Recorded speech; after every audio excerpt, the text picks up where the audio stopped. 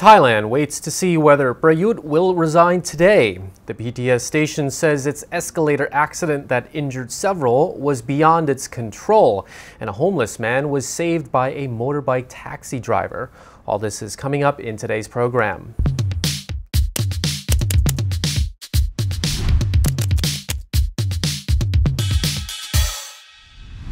You're watching Thailand News Today, bringing you the latest top stories in Thailand and beyond.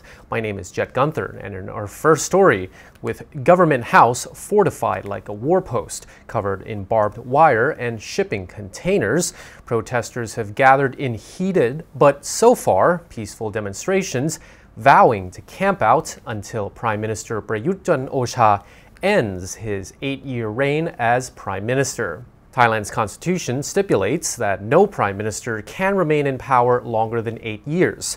And so, why is there a chance that he could stay in office?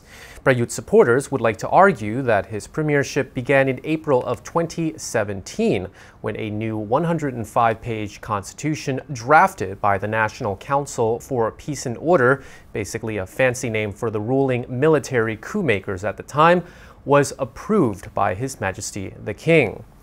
If the Constitutional Court favors the latter option, Prime Minister Prayut could continue serving as Prime Minister until April of 2025. A petition was submitted to the Constitutional Court calling for a definitive answer on the end date of Prime Minister Prayut's tenure on August the 5th, but the court has yet to come to a decision. According to the Peace Loving Thais group, leaked minutes from a constitutional drafting committee meeting held back in 2018 revealed the length of Prayut's premiership was discussed a long time ago. The minutes suggest that Prayut's premiership started three months after the military coup, meaning his premiership should end today. However, since the document has been used as levy by opposition parties, the CDC has responded by saying that the minutes were simply a discussion in a meeting attended by 30 people and are in no way evidence of a collective decision on the matter. Hundreds gathered outside the building yesterday, and the numbers are expected to grow as today marks what many believe is legally the end of his eight year term as described in the current constitution. In a recent poll, the public voted almost unanimously that Prime Minister Prayut should step down today although the 68 year old could sidestep that law by arguing the Constitution has only been in effect for the last four years of his term. Demonstrators spoke and rallied over loudspeakers about the end of his eight year term and urged him to step down peacefully by the law. So far, there have been no reports of violence at the protests at Government House. Though Prime Minister Prayut is not currently resigning within Government House, it is the symbolic site of power, and protesters intend to continue using it as a home base for mounting demonstrations. Yesterday's protests started at Democracy Monument and marched from there, while activists from the group Kana Lom Ruam Prachachon also used space by the monument to launch their demonstrations. The protest group may make its way to Government House and join other demonstrators to start the countdown to the end of Prime Minister Prayut's term. They believe he will be an outlaw prime minister if he stays on. The Constitutional Court is currently discussing whether they will accept a petition from the Pheu Thai party to end his premiership today, though the discussion could take weeks or months. If they rule that he must step down, Deputy Prime Minister Wisanu Kruangam says it is likely that Deputy Prime Minister Prawit Wongsuwan would become the caretaker Prime Minister, while Prayut would continue in his role as the Minister of Defense.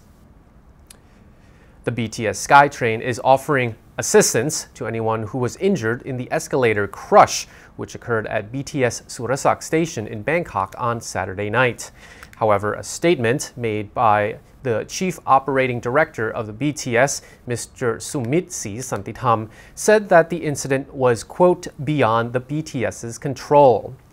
As a crowd of people crammed into BTS Surasak station to escape the rain on Saturday night, a group of people fell down an upward moving escalator. Thai media widely reported that 27 people suffered minor injuries. However, one 17 year old victim of the escalator crash was rushed to the hospital for emergency surgery when her leg was torn in the fall, exposing her bone. Officials from the BTS have since visited the 17 year old victim and presented her with a gift basket. The company did not state whether they paid for the victim's medical bills. The BTS's statement says that anyone who was injured on Saturday and needs assistance can contact the BTS Customer Relations Center. The BTS did not say what they would be offering to the victims in terms of compensation, only that injured people should contact them to discuss what assistance could be provided. Sumit apologized for the incident, but also said that it was a force majeure. However, some victims believe the crush could have been avoided. The 17 year old victim said that there was not a single member of staff present to control the crowd or stop people getting on the escalator. One of 12 teenage boys saved in the heroic Tham Luang cave rescue mission in northern Thailand four years ago has been offered a scholarship to study at Brooke House College Football Academy in Leicester, England. Duangphet Promthep, who is now 17 years old, says it is his dream come true. In June of 2018, 12 members of the Wild Boars football team aged 11 to 16 years old got stuck in a flooded cave system in Chiang Rai province with their 25-year-old football coach Noparat Kantawong. At the time, 13-year-old Duangphet was the Wild Boars team captain. In an international rescue mission that involved more than uh, 10,000 people, all 12 boys and their coach were brought out of the cave alive, the mission ending 18 days after they went missing. Saman Gunan, a 37 year old former Thai Navy SEAL, died from asphyxiation during an attempted rescue on July the 6th after delivering diving cylinders containing oxygen to the trapped team. The next year, in 2019, rescue diver and Thai Navy SEAL Beirut Pakbara died of a blood infection that he contracted during the rescue mission. The Tham Luang Cave mission inspired three films so far The Cave in 2019, The Rescue in 2021, and most recently, 13 Lives in 2022 a homeless man with mental health problems in a Seoul area of Bangkok has been reunited with his family thanks to the help of a thoughtful motorcycle taxi driver. The compassionate rider, Chayut, managed to connect the destitute man named Bon with his father after posting pictures and videos of him on his TikTok account. The 34 year old often posts pictures and videos of homeless people in Bangkok on his TikTok account in the hopes of reuniting families. And in March, Chayut shared the heartwarming video of the young homeless man reuniting with his father on the street. Chayut recently updated the story after he met the man's father. He revealed Bon had received treatment at the psychiatric hospital, Srithanya Hospital, and traveled back home to the southern province of Prachuap Khiri Khan. The video shows a much more lively and healthy Bon wearing clean clothes and sporting a neat haircut. Bon said, I've now recovered from the illness. My weight has increased. I was about 60 kilograms when I wandered around Seoul, but it's almost 80 now.